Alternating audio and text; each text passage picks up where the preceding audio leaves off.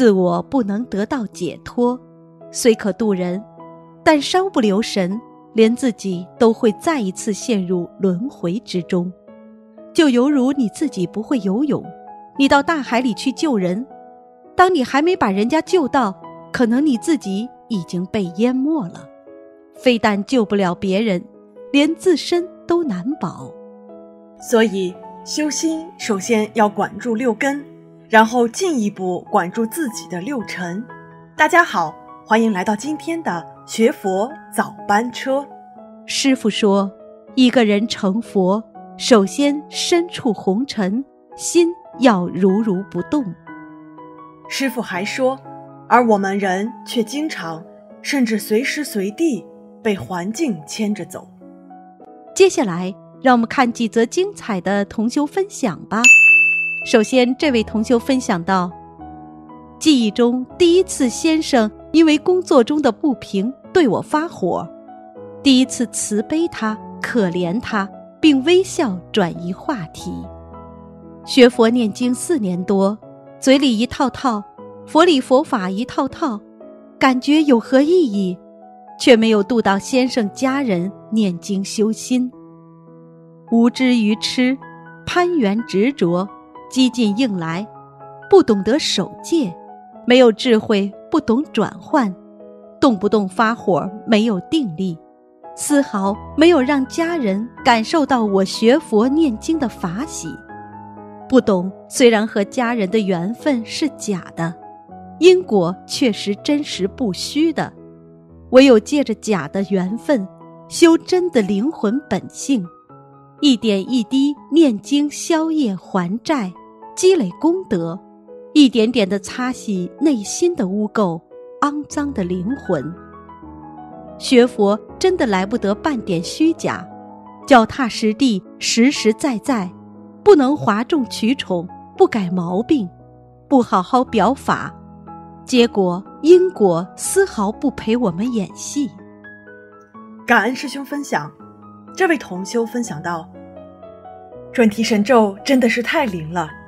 以前我看到同修修习心灵法门的灵验事例时，认为那不过是几百万同修中的一部分，有可能就是巧合。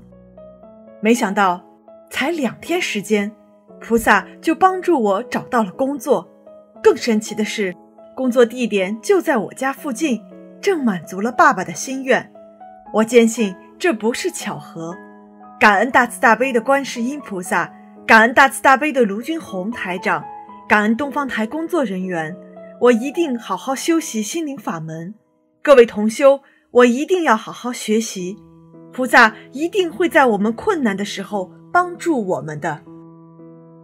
感恩同修的分享，这位同修分享到：学习白话佛法第八册第十四篇，控制杂念，随遇而安。分享。今天一位师兄给我留了一大段语音，他昨天参加了一个网上共修，法喜充满，正能量具足。他建议我也参加，向他们的共修学习。同时，他也很中肯地提出了对于我们这边共修的建议。听完他的留言，虽然我认同他的观点，但是不免起了很多杂念、负面的想法。正好学习白话佛法。看到这段话，一个人在想一个念头的时候，有前念，然后有今念、后念。过去碰到这个事情，曾经想过用什么方法来对待它，就叫前念；然后有今念，就是现在当场的念头；后念就是还没有想到过的念头。你的前念主控着你的今念和后念，仔细想想自己的念头，当下所产生的负面的今念，完全是基于自己没有改变的前念。之前对于共修方式的不完全认同，以及对于我们这边师兄们状况的不便看法，导致了负面的今念，甚至差一点儿产生了负面的后念。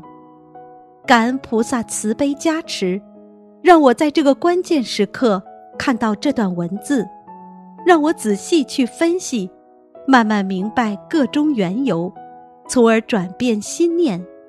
今非昔比，共修的方式是在不断改进提高的，师兄们的状况也是不同于以往。看到错误的前念，修正负面的今念，产生正确的后念，继而采取积极的行动。感恩，感恩师兄的分享。感恩大慈大悲救苦救难广大灵感观世音菩萨摩诃萨，感恩十方三世一切诸佛菩萨龙天护法菩萨，感恩无我利他的恩师慈父，感恩东方台秘书处。今天怀着无比感恩的心情来分享一件事。本人白天正常，晚上临睡前尿频，将近十年，看了无数的中医、西医，都说没有病。也就是说，他们都认为我的病看不好的，甚至有一个女西医语出惊人，让我憋着不要上厕所。然后我问他：“那我憋着就没法入睡呀？”他说：“那我也没办法。”我明白我的病只有菩萨能救我了。我几千张小房子给导致我尿频的要经者，又念了几千张超度孩子，然后几次跪在佛台前。求菩萨救救我！每天晚上几十次的尿频，有时真感觉生不如死。但我明白现在不能死啊！现在死的话，业障这么重，怎能上天？我请菩萨给我感应，是孩子没超度走才导致尿频吗？结果菩萨慈悲，我梦见我的孩子坐在我的腿上。现在尿频的症状反反复复，时好时坏。孩子也超度走了，又回来，反反复复。但我坚信，总有一天，菩萨会帮助我，把我的孩子们全部安排到善处去。我的病总有一天会完全康复。现在的日子，除了感恩还是感恩。今生今世，永远永远一门精进，永不放弃修心修行心灵法门。分享结束。如果有不如理、不如法之处，请大慈大悲观世音菩萨慈悲原谅。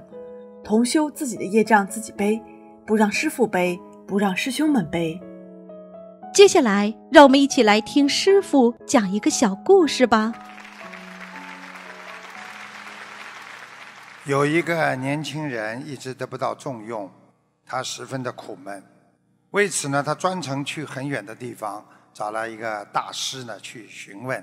他终于见到了大师，年轻人就问大师说：“大师啊，我的命运为什么对我如此的不公平呢？”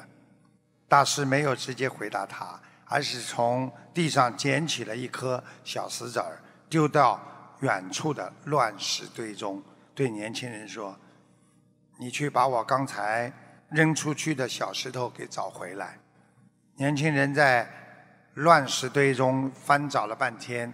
也没有找到，因为他不知道哪一颗是老人家扔出去的，因为每一颗石子儿看起来都差不多。他无功而返，大师呢，来，小伙子啊，把你手上的戒指给我。拿起戒指往乱石堆当中一扔，年轻人去把它找回来。这一次，年轻人没有飞，吹灰之力就找到了。那枚闪着金光的戒指，大师看着年轻人没有说话。年轻人醒悟了：如果自己只是一颗小石子儿，而不是金子的时候，就不要去埋怨命运对自己的不公平。感恩菩萨，感恩师傅。在今天节目的最后。让我们再一起听师傅的几句佛言佛语：红尘繁华惹眼花，香槟美酒泛桃花。一觉醒来在医院，不知应该把谁怨。好了，以上就是今天学佛早班车的内容。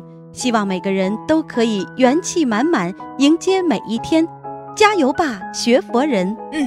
同时，也期待明天同一时间与您在这里再次相会。